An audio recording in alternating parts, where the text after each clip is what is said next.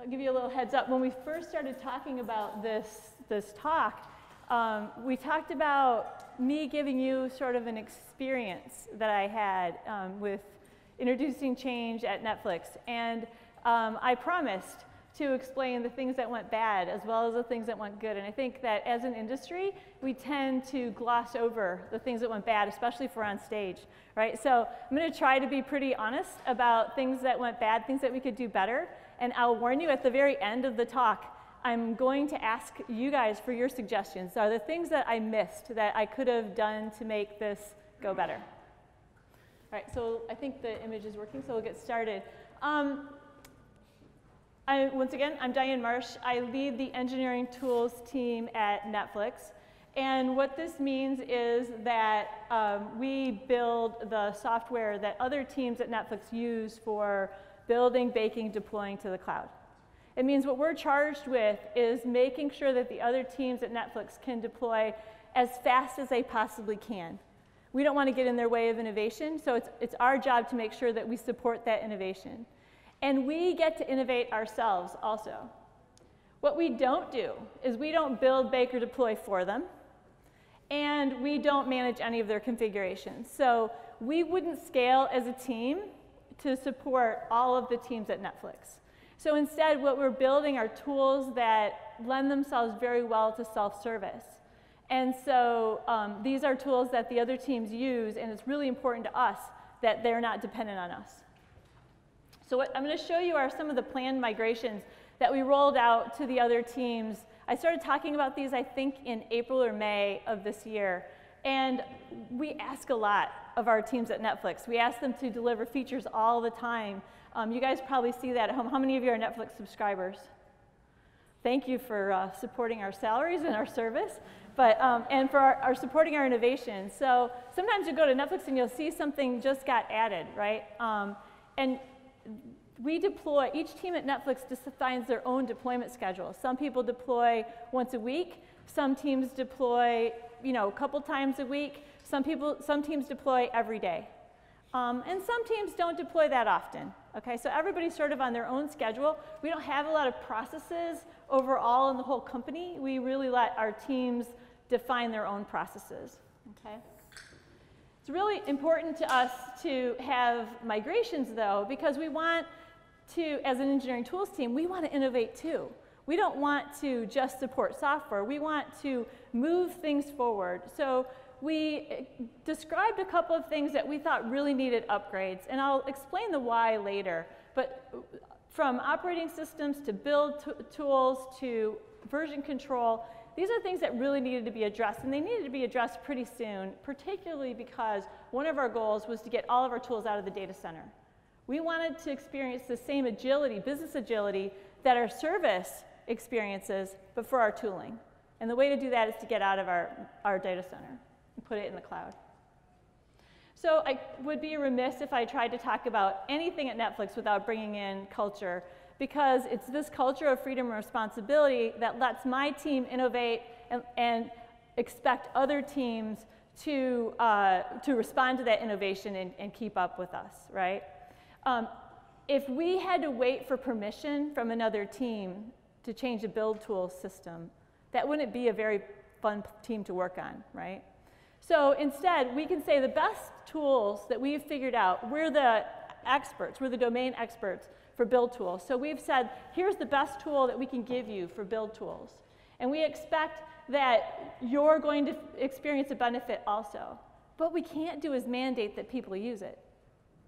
So there's no top-down control that says everybody needs to go to Nebula Gradle because that's what the build tools team said. Instead, we need to make it really attractive. So in a sense, all the other teams at, at, Netflix really are our customers. They can choose not to buy from us. They can say, you know what, this old system that we have, this custom build system that we've had in, in place for a long time based, based on Ant and Ivy, works for us, we're just gonna stick with that. And we need to be non-opinionated about that. They can stick with it, but they get to own and run it, because we're done, right? So once this migration is complete, we're gonna be done we really manage by context, not control. So um, if you were in Sarah's talk an hour or so ago, you, you learned that one of the really important things to do is to give people context. We spend a lot of times. My job as a manager is to give context to other teams about what we're doing and take context back from them so, to, my, to my team so that we can inform the things that we invest in. But with freedom comes responsibility, right? I can introduce all this change to Netflix, but I darn well better be responsible for the impact that this change has. And so I started thinking about what is the best way to support this change across the organization. So the first thing I did was I picked up some key stakeholders that I knew around the company that were quite opinionated. Um, we might say that they're the guys who usually have the strongest opinions about things and I thought might have some concerns about the changes that we were going to introduce. And so I took them aside and I showed them what I was planning on doing. And they gave me feedback and I rolled that back into my plan before I rolled it out to uh, other managers at Netflix. I think that really helped a lot to sort of you know, bring them along and make them a part of the process. It also really improved my plan. One thing I defined was I defined the paved road. So these migrations that I described in the, in the earlier slide around version control, build system, operating system for our AMIs, and a deployment tool, those are tools that we've committed to supporting in the future, and they're also tools that will ensure work well together. Okay, so I'm calling this the paved road. There's on-ramps onto the paved road, and I'll show you how we did that too. But um, it's, it's really a commitment from my team to the other teams at Netflix to say, we're not going to change these out from underneath you in the near future. Certainly we will ultimately, but not in the near future. And like I said, it's really my job to support velocity across the organization. So I thought, how, how can I do this? I, these teams, we're asking them to you know, continue with their day jobs, right? But then somehow roll in these migrations in as well. And certainly they have not planned for this, right? They did not say, we are going to build in time to do all these things Dianne says is, are important. So what I came up with was um, sort of uh, modeled after my experiences as a software consultant. I, th I thought what we needed was a customer engagement team. So I hired a team of people that were technical experts, software developers, had experience doing development, right? I stayed away from project managers. I stayed away from um, the, the traditional um, TPM role. I don't know if you guys have you heard the TPM role. So there's a technical program manager, and they tend to um, push programs through. And I think it's a really great role if you've defined it well. But in my opinion, it's high T, so high on the technical. So I wanted developers. I wanted this experience to come from in the trenches so that you could go one-on-one -on -one with developers as they had concerns, you could address them. So I hired this team, and I didn't have to go get permission to hire the team. I was able to say, here's what I need this team to do, and I was able to go and hire this because at Netflix, we're autonomous. So my organization is autonomous, and I know what's best for my organization. So I'm able to create a new team without going through a lot of rigmarole and saying, you know, we need to go and create this team, and I need to get, you know, uh, permissions all the way up. That's not how we do it. We just say, we need a team. Here's what the function's going to be, and I went and hired for it. And certainly I asked a lot of questions and got, gave a lot of context to my manager and other managers at Netflix and got a lot of opinions about what this team should look like. But, I, but the key here is we didn't ask permission. So I also embedded this customer team in the development teams. So not in the development teams, meaning the teams that were adapting our new technologies, not initially. Initially, I embedded them in the development teams that were building the tooling that we were going to ask our other teams to, um, to migrate to. So for example, the team that was building a new build system based on uh, Nebula and Gradle, um, Nebula is the Netflix build language. It's, it's uh, plugins that sit on top of Gradle. I embedded a developer on that team so that he truly understood how we were building that system. And so that when he went out to our internal customers to help them adopt this technology, that he was an expert at least as well as he could be in, in, from coming from the space of being a developer on the project not just an outside observer who was going to have to be a proxy for the developers. I think that that was really important, an uh, important part of the success. Our goals were, like I said, to engage with our customers. I wanted to share that cost of change with them, recognizing that you know, I, I don't want to impact their velocity too much. And uh, like I said in the very beginning, I really want to encourage self-sufficiency. So he was, this, these engagement, uh, this customer engagement team swoops in, helps the team and gets out, right? So we're not managing anything beyond the engagement. And I did start with the why. So I talked a lot about all of the benefits that each one of these tools provided and what we thought this was going to bring to the organization. And the one that needed the most socialization was certainly, you know, getting out of the, uh, the our tools out of the data center. Um, that required a lot of socialization. It also um, sort of drove some of the other requirements. So if I want to move our, our uh, developers from Perforce to Git, for example, um, I, Perforce right now runs in our data center. And so part of getting out of the data center means we really need to migrate everybody off of Perforce and on, onto Git right? So socializing not only the fact that we're doing that, but also the real benefits of distributed version control, the benefits of the business agility that this was bringing us to getting out of the data center, it all coalesced in that, that messaging. What I didn't worry about was the easy sells.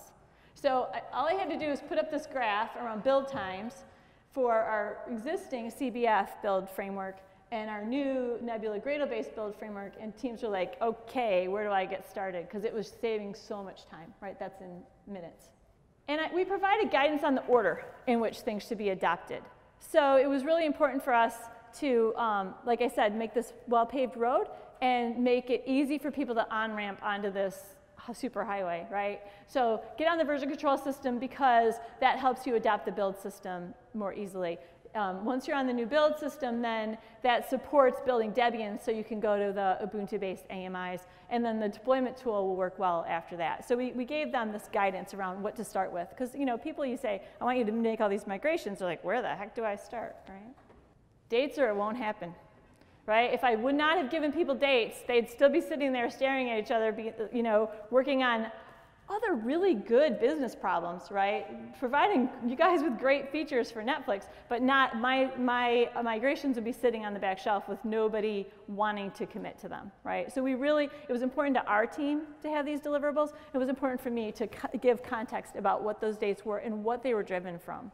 But we had to be flexible. There are some teams, I, I put a, a, date toward the end of this year for getting out of the, our tools out of the data center. And there are some teams that, that came to me and they said, you know, Dianne, we have a lot of really big deadlines between now and the end of the year. We're, we're, we'll try in the fourth quarter, but I suspect that this is going to drag into Q1. Got to be flexible, guys, right? Like, there's nothing's going to nothing's going to happen bad if we aren't out of the data center on December 31st, right? Um, so while we want to motivate people to move out as soon as they can, we we aren't going to put other deadlines at risk for that. And I went on a road show. Um, I, I was telling somebody else here, one of the hardest things about joining Netflix was understanding how many teams there are and how to communicate with them broadly. And so what I, one thing I did really badly is um, I, I socialized what we were doing. I sent it all out. It started in April or May.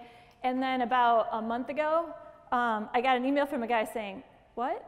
I didn't know we were switching version control systems. What the heck? What did I miss, right? I missed all of the UI teams, all of them. So um, how did I do this? Well, you know, there are a lot of teams, and I've socialized with the server engineering managers, which is a, a, a group that, you know, I talk to a lot, and I thought I had captured everybody in there. Well, you know, it doesn't take a rocket scientist to know that the UI people are not in server engineering managers.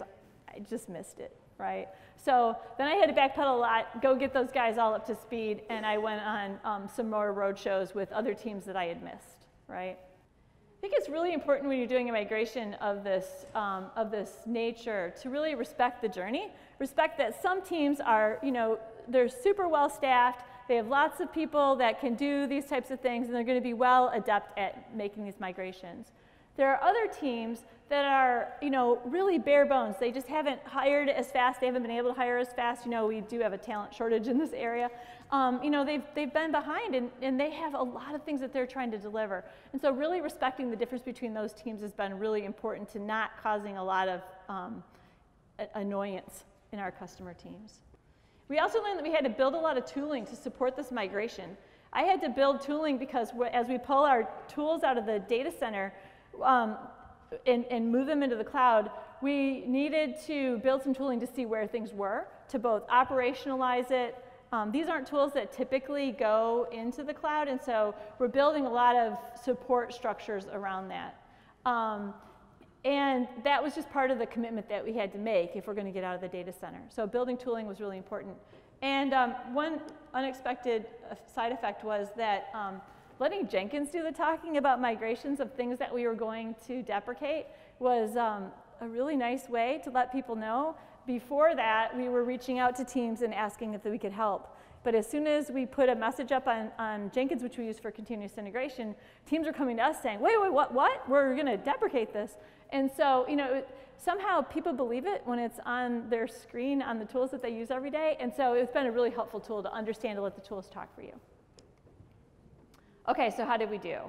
Well, I'll show you. We um, are at about 63, 64% um, adoption for our version control system and our build system, which is pretty good, except when you understand this, right? The innovation curve, um, we're in that late majority, and we have the long tail to go right? So those people at the beginning, those are easy. Those are the people that were going to do it anyways. Those are the people that we didn't really have to reach out to. And so I think that we're, we're definitely behind the curve on this, right? I think that for the end of the year, it's going to be a big challenge to try to, to um, push this through. But um, it's good to have the data. And what can I do to improve? Well, I think I could have done more outreach. Obviously, I shouldn't be missing teams, right? Um, I think more transparency and dashboards about what we were doing would have helped a lot. Orientation for other teams. So like, where is my team when compared to other teams on adopting all of these migrations? I think that would help. It would apply just a little bit of peer pressure and understanding about where the rest of the company is that might help them to reach out for help um, and, and adopt the migrations. And we've kind of realized that we did a lot of training around some of the things that we didn't need to, like maybe Git, right? There's lots of online training for Git. Do we really need to have custom training for Git? I think we need custom training for custom solutions, right? For maybe our build system that we're building on top of Gradle so there aren't that many people who know how to do it. But if you can Google for it, we probably shouldn't be training. We probably shouldn't be wasting our time doing that when we could use that valuable time to reach out to other teams. And I think that I, um, I hired too slowly for this, for this role, and you know, it's always a big challenge, but I think I could have brought more people in. Thanks so much for coming.